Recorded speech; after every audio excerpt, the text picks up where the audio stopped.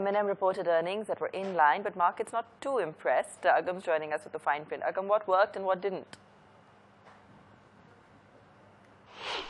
Well, in terms of M&M's third quarter, it was a rather subdued quarter, uh, but very much in line with street expectations. So revenues did decline as much as 2% as expected by the street. Profits, on the other hand, uh, moved up as much as 12%, and margins also expanded to 13% against 11%, once again, according to street expectations. Uh, what was really behind the margin expansion was the fact that the tractor business has done really well. In fact, uh, they did see a revenues rise of as much as 20%. We've seen volumes move up as much as 21% year on year. And of course, in terms of margins too, uh, we've seen a good 18% margins for just from the tractor business as against 15% year on year. On the other hand, from the weaker side of things, uh, it was the utility vehicle space, uh, which uh, wasn't as robust as its uh, as the tractor business.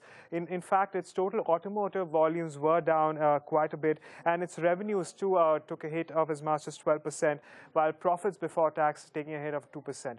Overall, in terms of expenditure, uh, well, we did see total expenditures down by as 4%. But if you take raw material costs uh, as a ratio to revenues, they stand at 52% against 49%. All in all, a rather subdued set of numbers, though very much in line with street expectations when it comes to M&M.